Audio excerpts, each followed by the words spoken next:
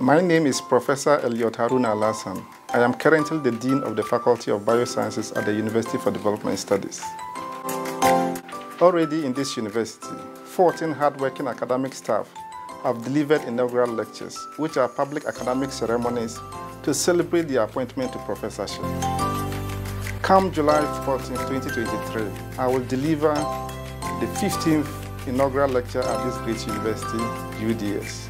May I take this opportunity to invite all members of the university community, my family, friends, and well-wishers to join me at the Dr. Andani Andan Academic Board Chamber on July 14, 2023 at 2 p.m. The topic for my lecture is Life Below Water, Developments and Trajectory of Ghana's Inland Fisheries. The chairperson will be the Vice Chancellor, Professor Seidu Al-Hassan. See you all on 14th July 2023.